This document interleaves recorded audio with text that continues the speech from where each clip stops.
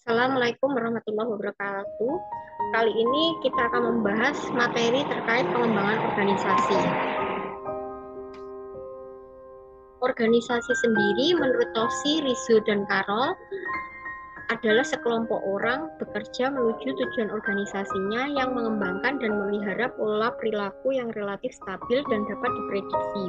Meskipun individu dalam organisasi dapat berubah, biasanya kita menggambarkan organisasi dalam hal bagaimana mereka berbeda pada tiga dimensi, yaitu kompleksitas, formalisasi, dan sentralisasi.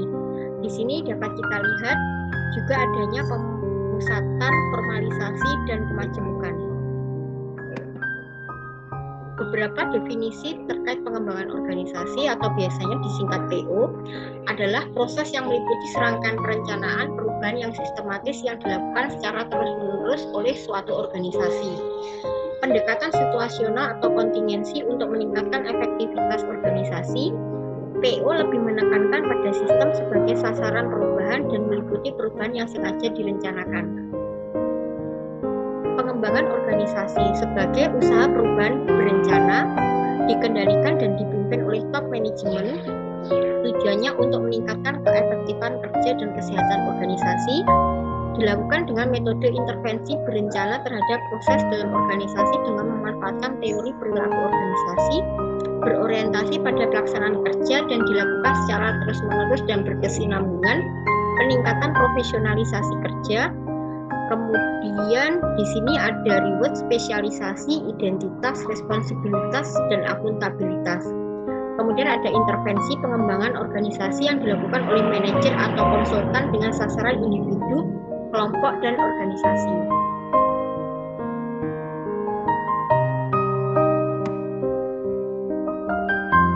Apa penyebab perlu dilakukan pengembangan organisasi? Yang pertama ada faktor eksternal, yaitu kompetensi yang semakin tajam antar organisasi, perkembangan iptek, perubahan lingkungan. Sedangkan untuk faktor internal sendiri, tidak cocoknya struktur, sistem, dan prosedur, serta perlengkapan dan fasilitas.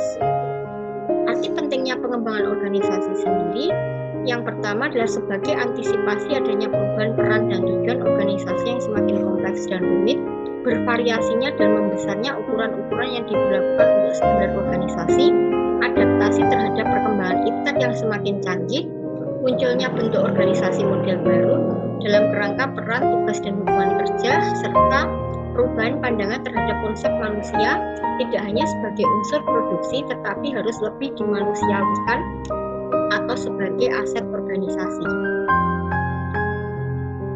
Pengembangan organisasi dapat dirumuskan sebagai satu upaya yang direncanakan dampaknya mencakup seluruh organisasi dimanajemeni oleh puncak untuk meningkatkan efektivitas, efisiensi, dan kesehatan organisasi, serta melalui intervensi yang direncanakan ke dalam proses-proses organisasi dengan menggunakan pengetahuan keperilakuan.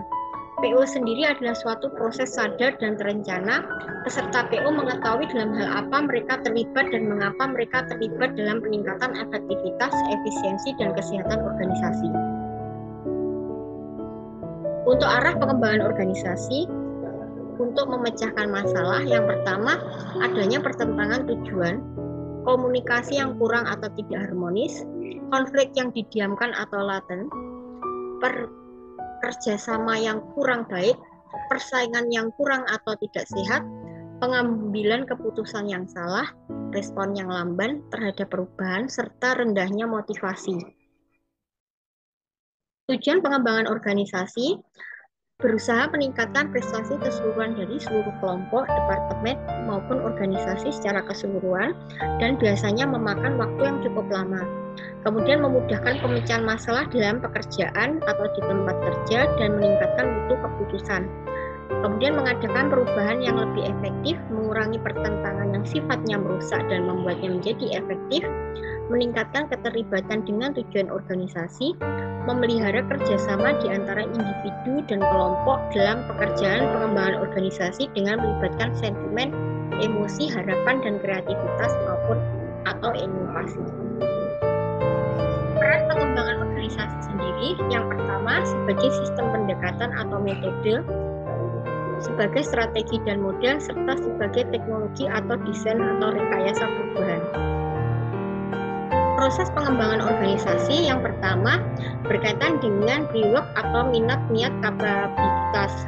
Kemudian ada koleksi data berisi terkait pengumpulan data, adanya diagnosis yang berisi penelitian, menganalisis dan menginterpretasi, serta adanya intervensi perubahan dan pengembangan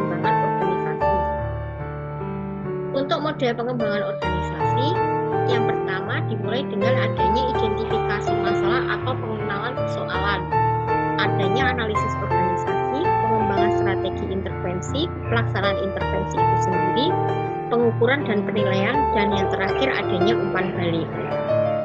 Kemudian untuk tahapan pengembangan organisasi yang pertama berkaitan dengan pemahaman persoalan, merumuskan hakikat persoalan, mengurangi secara bertahap, adanya uji coba, pemantapan, dan yang terakhir menentukan fokus perubahan.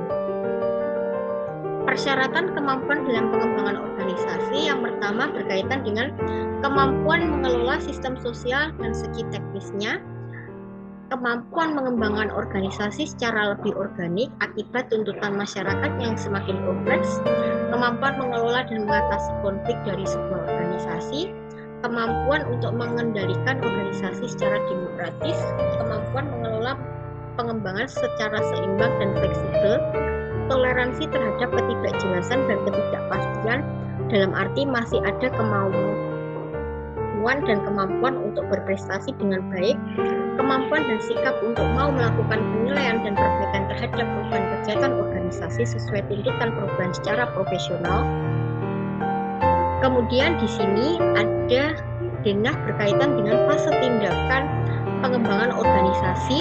Diagram ini berisi pertama fase penilaian yaitu evaluasi pertama, fase pemecahan masalah, fase pelaksanaan, kemudian adanya fase evaluasi untuk kedua, dan yang terakhir umpan balik. Diagram selanjutnya berdekat, terkait pendekatan sosioteknis dalam pengembangan organisasi. Di sini manajer adalah sebagai ahli strategi, pemimpin, administrator, dan problem solver berisi untuk ahli strategi terkait sistem strategi dan evaluasi sebagai pemimpin sistem sosial kaderisasi, problem solver, sistem teknik dan inovasi, dan terakhir sebagai administrator yaitu sistem administrasi yang beradaptasi. Prestasi organisasi dalam PO, yang pertama dimulai dengan efisiensi diukur dengan perbandingan antara masukan dan keluaran yang mengacu pada konsep minimax yaitu masukan minimum dan keluaran maksimum. Kemudian adanya efektivitas, tingkat prestasi organisasi dalam mencapai tujuannya, artinya kesejahteraan tujuan yang telah ditetapkan dapat dicapai, kemudian adanya kesehatan organisasi, suatu fungsi dan mutu hubungan antara para individu dan organisasi yaitu hubungan yang dinamis dan adaptabel. Kemudian, apa tujuan pengembangan organisasi? Yang pertama, menciptakan keharmonisan hubungan kerja antara pimpinan dengan staf anggota organisasi, menciptakan kemampuan memecahkan persoalan organisasi secara lebih terbuka, menciptakan keterbukaan dan komunikasi, merupakan semangat kerja para anggota organisasi dan kemampuan mengendalikan diri. Bagaimana proses pengembangan organisasi? Yang pertama, pengenalan masalah, diagnosis organisasional, pengembangan strategi perubahan, intervensi, dan yang terakhir berkaitan dengan pengukuran dan evaluasi. Ciri-ciri pengembangan organisasi yang efektif sendiri adalah strategi terencana, menekankan cara-cara baru meningkatkan kinerja, mengandung nilai humanistik, menggunakan pendekatan komitmen, dan menggunakan pendekatan ilmiah hambatan di dalam pengembangan organisasi. Yang pertama, hambatan dari dalam berisi kebijakan pimpinan, ketidaksiapan SDM, keterbatasan anggaran. Untuk hambatan dari luar terkait perubahan peraturan dan undangan, lingkungan yang tidak kondusif, ketersediaan sumber daya. Strategi mengatasi keengganan terhadap perubahan organisasi yang pertama, lakukan proses pendidikan, sosialisasi, dan komunikasi. ciptakan suasana partisipatif, adanya dukungan fasilitas, lakukan perundingan atau negosiasi, melakukan manipulasi dan kooptasi, lakukan paksaan. Di sini terdapat metode mengatasi penolakan terhadap perubahan, dimulai dari metode pendidikan dan komunikasi yang dipergunakan dalam situasi terjadi adanya kekurangan informasi atau analisis informasi yang tidak akurat. Kemudian adanya keterlibatan dan partisipasi jika pemilik gagasan tidak memiliki semua informasi yang diperlukan untuk mendesain perubahan atau jika yang lain memiliki kekuasaan yang besar untuk menentangnya.